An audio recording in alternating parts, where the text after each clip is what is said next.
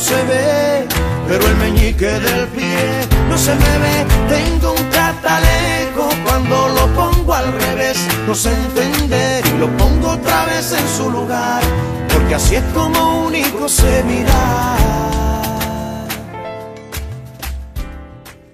¿Qué tal? ¿Cómo están? Bienvenidas y bienvenidos a una nueva emisión de Catalejo por esta casa, por conclusión, por televisión regional, como siempre, tratando de acercar la realidad para profundizarla con los debates medulares que solemos dar en este espacio. ¿Cómo te va, Placa? ¿Cómo estás? ¿Cómo andas? Sale bien, Bien. con nuestro catalejo en mano para acercarnos a esa realidad Exactamente. diferente. Exactamente. Hoy con una invitada que tiene que ver con la Diputación Provincial, diputada provincial de hecho, Exactamente. dentro del Frente Progresista Cívico y Social, pero representando a la Mónica Peralta. Mónica, bueno, bienvenida, gracias por estar. Gracias a ustedes. ¿Cómo andan? Bien, muy bien.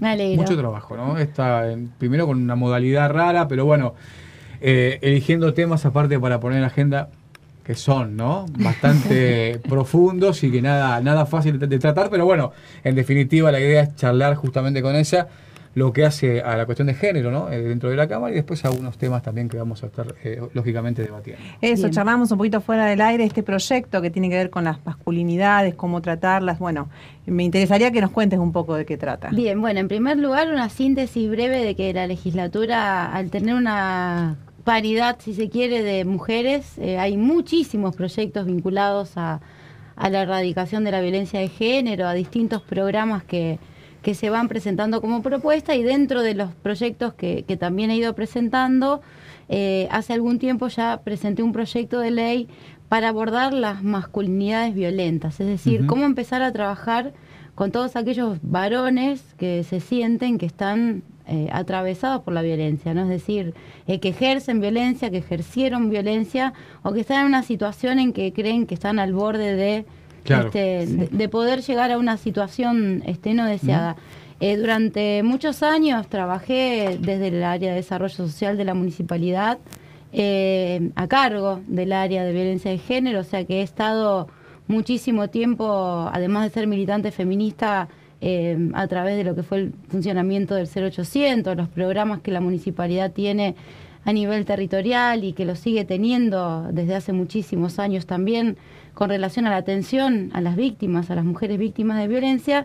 Y también esto, bueno, me fue llevando a la experiencia de que nos faltaba trabajar con esos varones, ¿no? Es decir, hay un momento en donde la mujer necesita estar eh, acompañada, contenida, resguardada y alejada de ese, de ese varón agresivo, ese varón este, violento, de ese entorno de violencia, tanto ella como sus hijos o su círculo este, familiar Sí, sí, inmediato, Este, pero nos quedaba hueco, digamos, el, el qué hacer con estos varones. El cómo, claro. el cómo trabajar, eh, eh, el, el- el no, el no seguir segregando. Entonces, a partir de esto se, creamos un, un proyecto que, bueno, lo trabajé a partir de una charla que tuve con, con el psiquiatra Enrique Stola, digamos, apenas comenzamos del contexto de cuarentena, tuve muchas charlas con eh, tanto con Diana Mafía, este como Eleni Cáceres, Candelaria Boto, bueno, en ese contexto también Aprovechando la modalidad, ¿no? Esto aprovechando la modalidad contexto, claro. y, y también, digamos, con, con, con, con- con las ganas de hacer cosas y que le sirvieran, digamos, a, a un montón de otras personas que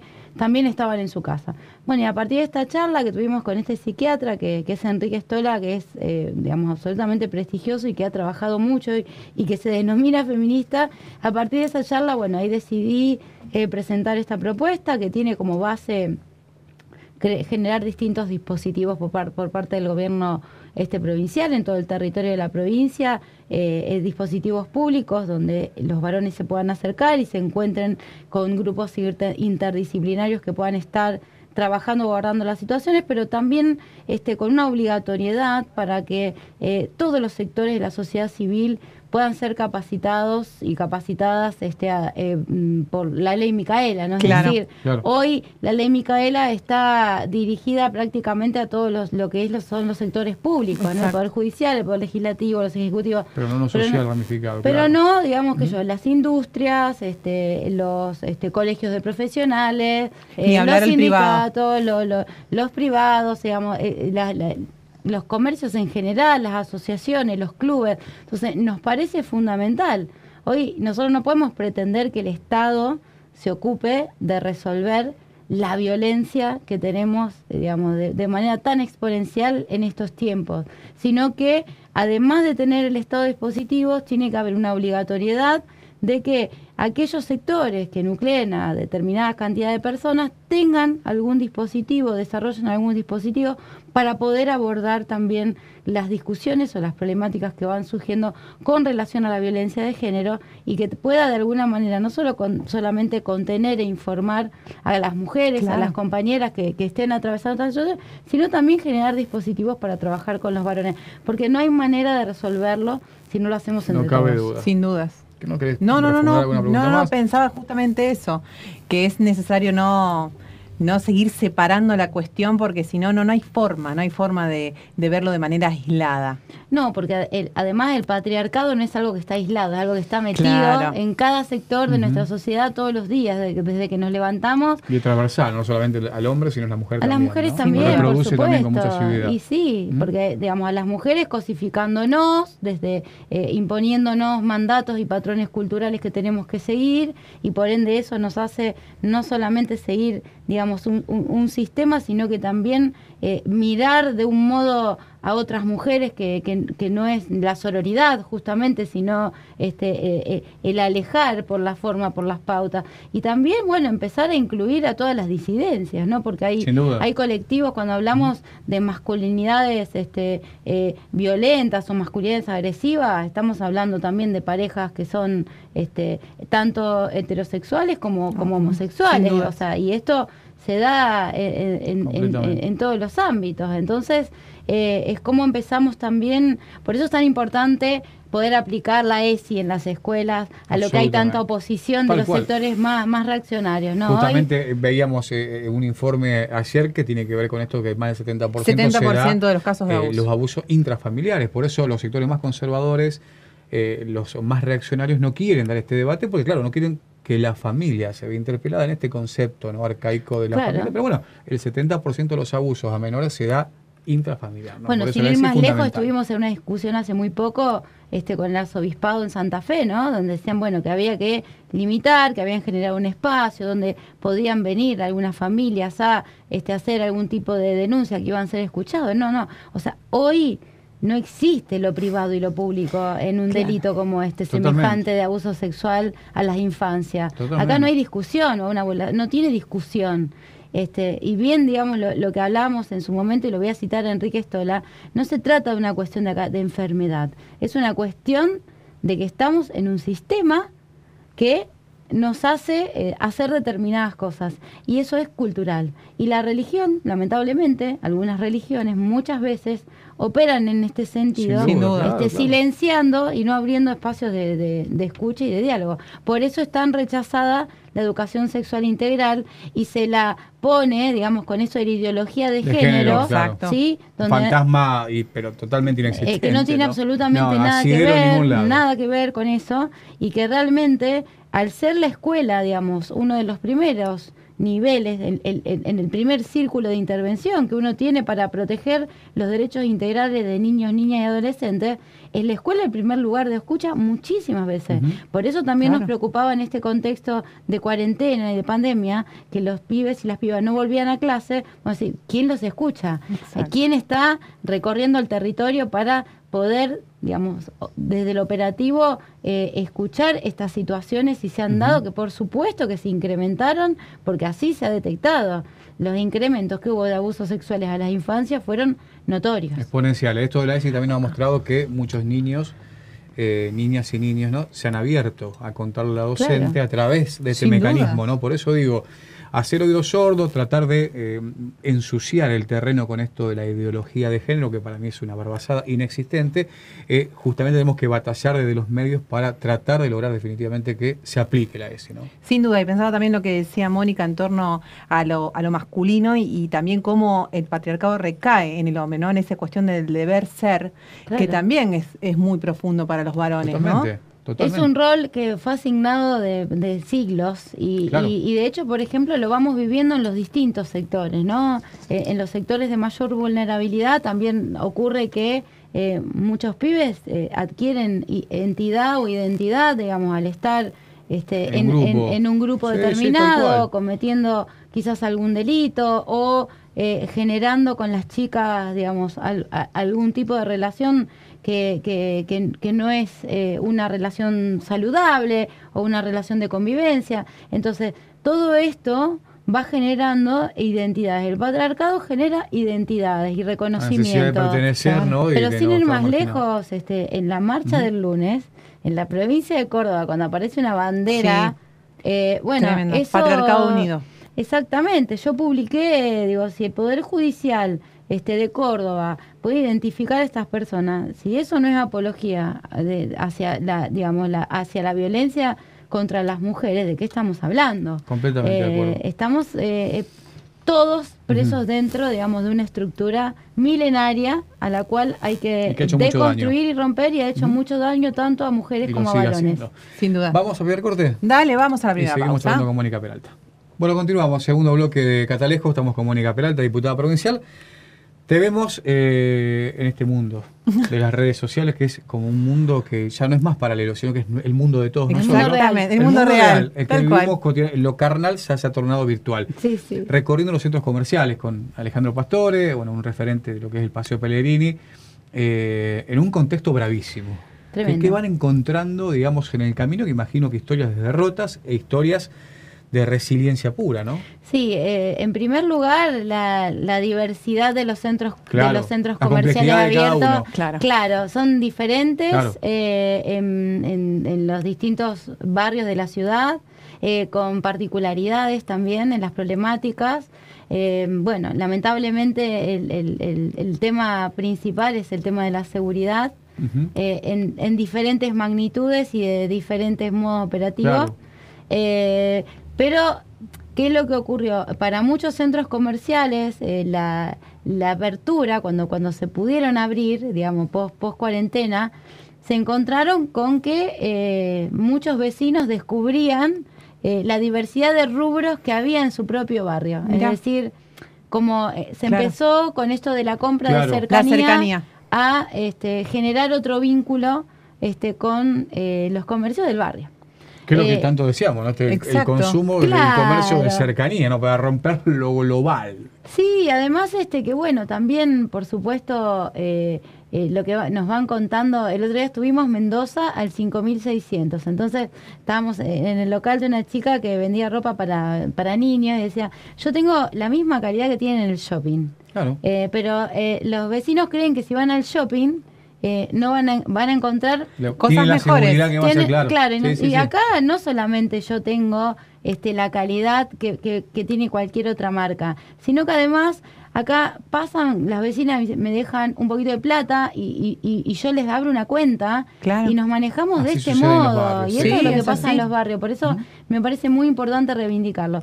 Y después, bueno, diversas eh, eh, eh, problemáticas. Yo- no, no es lo mismo calle San Luis por ejemplo, que eh, también ha tenido la oportunidad de eh, empezar a vender de forma, de manera mayorista, es decir, Claro. un montón Claro. de gente que de la provincia de Santa Fe que se iba a, A Buenos comprar a. Buenos Aires empezó a comprar en calle San Luis y eso los hizo sostener también, porque había que sostener Totalmente. cada alquiler, cada comercio cuando este post cuarentena había que empezar a trabajar y, y- y de a poco ir levantando eh, el tiempo cerrado que, que habían estado los negocios, sostener a los empleados, o sea, muchos te dicen, eh, hay algunos que no pudieron aguantar porque ya venían mal Claro. y, y- y esto los terminó de matar. De hecho, hay un montón de locales. Imposible olvidarse que vivimos de cuatro años tremendo. Venimos de cuatro años Ah, con una economía fatal. Fatal. No hubo Este, respiro y vino esto. No hubo respiro, vino esto. eh, todavía no se pueden ver, lamentablemente, la- las políticas del gobierno eh, nacional en, Enfocado en un eh, plan enfocado económico, en un claro. plan económico porque hay todas medidas de contingencia. Lo mismo ocurre en el gobierno de la provincia de Santa Fe, es como que la pandemia ha, todo. ha Sí. tapado Sí. todo.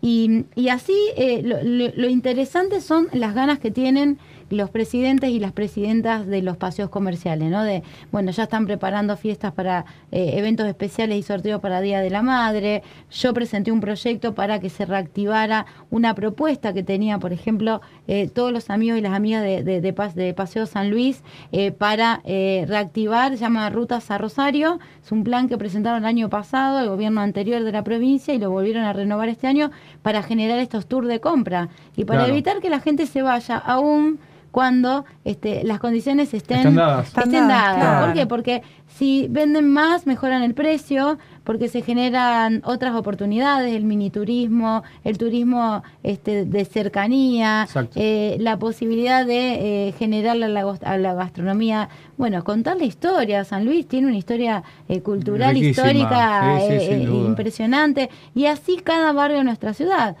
Bueno, te decía, problemas de, de, segu- de se- de inseguridad, eh, situaciones de que quieren arreglar o cambiar una vereda, cambiar las luminarias, mejorar el barrio, porque si nosotros nos ponemos a pensar, eh, cada negocio que cierra es un espacio eh, a la comunidad que se, que se quita. Claro. Y nosotros necesitamos ocupar la calle, ocupar la vía pública, estar en la calle. Cuando, cuando podamos necesitamos recuperar el Sí, espacio sí, público para apropiarnos de eso y para que nuestros paseos comerciales estén en las mejores condiciones, porque no dejan de ser un lugar de encuentro para los vecinos del barrio. Totalmente. Así que bueno, estamos trabajando y acompañando las iniciativas, este, por ejemplo, que no puedan competir con los grandes shopping y los- las grandes cadenas, las grandes marcas, a través de los descuentos o beneficios que los bancos dan con las tarjetas de crédito. Bueno, una serie de desigualdades que eh, de alguna manera estamos intentando trabajar a través de diversas propuestas que vamos presentando Seguro. tanto en la Cámara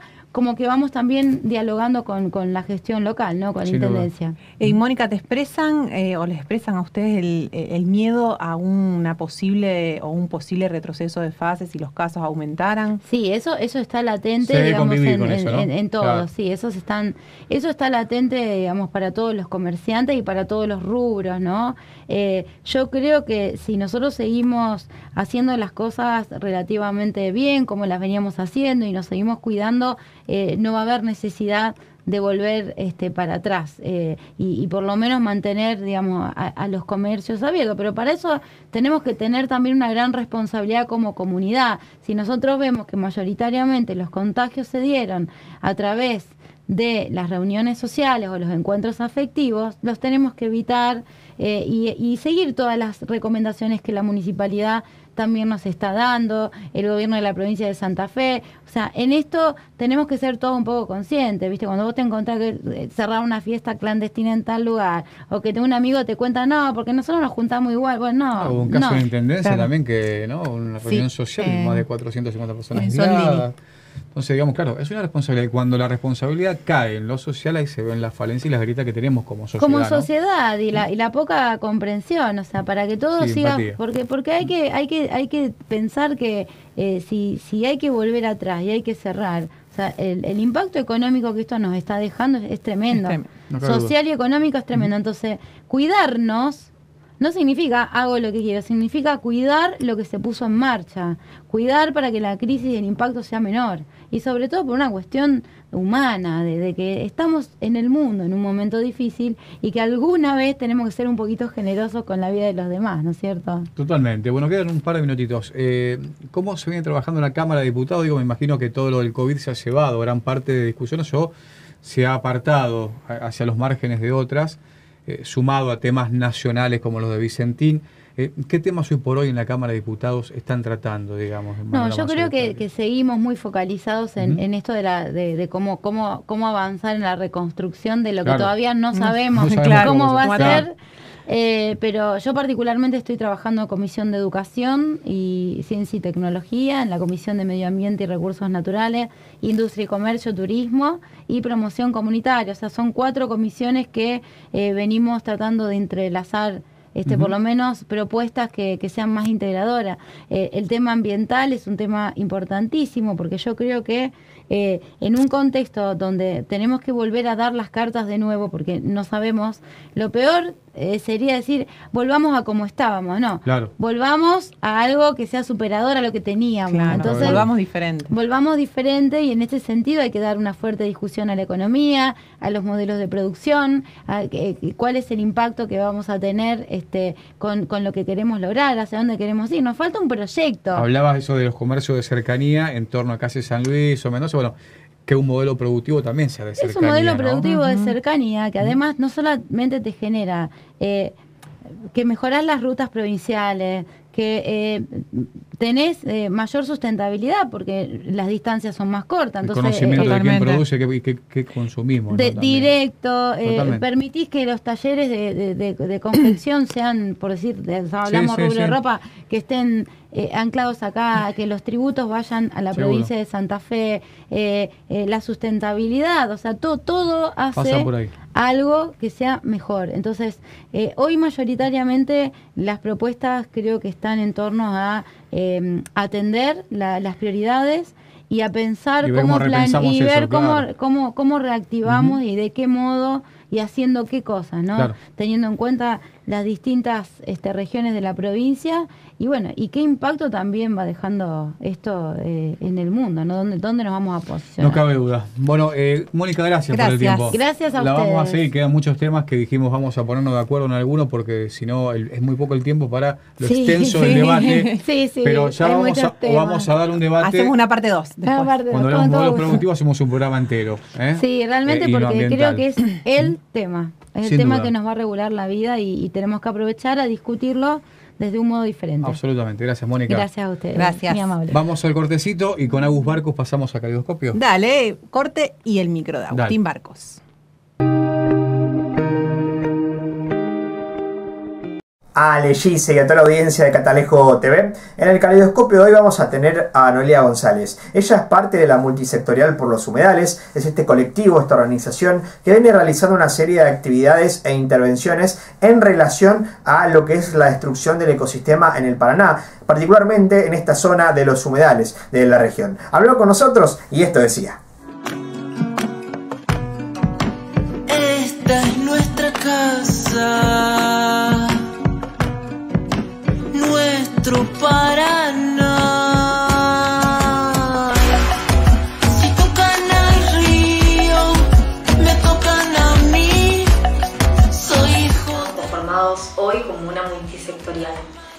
sucede a partir de las quemas de guasada que se dan en el territorio entrerriano y la necesidad de varios ciudadanos de Rosario y de otros lugares que necesitamos eh, que deje de suceder esta situación.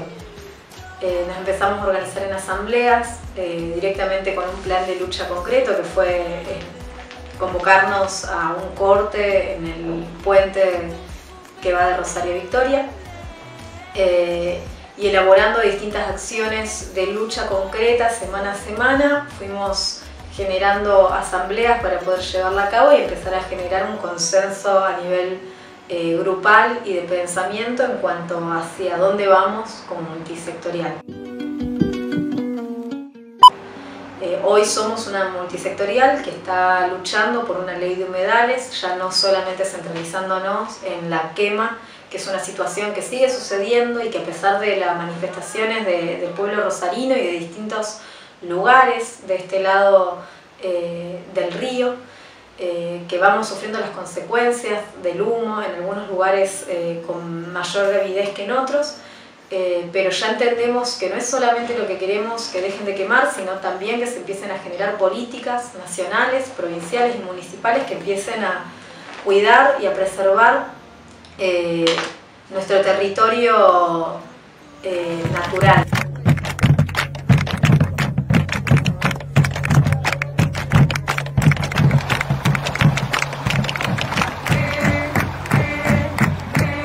En lo personal, como soy docente de expresión corporal, eh, me sumo a esta lucha a partir de, de la necesidad de generar un cambio en el país en cuanto a esta situación.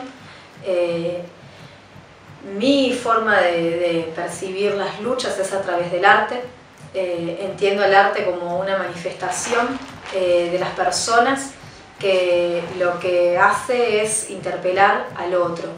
Entiendo que cuando ya no me alcanzan las palabras para decir lo que quiero decir, encuentro en el arte ese lugar para poder eh, generar algo.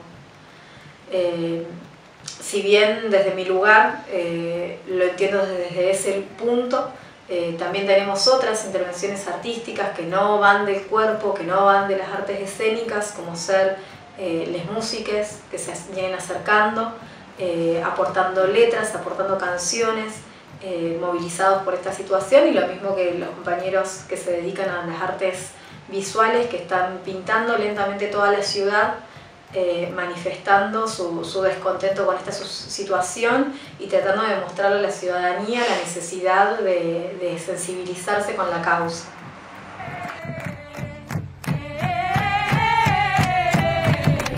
Desde donde pueda cada uno, no todo el mundo puede asistir a una marcha, una manifestación, pueda tomar conciencia y empezar a generar algo, eh, porque necesitamos un cambio. Muy bien, Calidoscopio con Agus Barcos, el final de Catalejo. Sí, siempre ahí con las cosas importantes y apuntando novedades. En el estudio propio que tiene Barcos por Casa Santa Fe. Sí, él tiene su Ya lo- propio Volveremos estudio. a verlo aquí por. Extraña venir él. Ya, se Ya va, va a sumar. Ya, se va Ya a lo sumar. vamos a traer. Nos vamos, Placa. Sí, nos vamos hasta la próxima emisión de Con más Catalejo. Que le vaya muy bien. Chao. Adiós. Ok, vamos allá.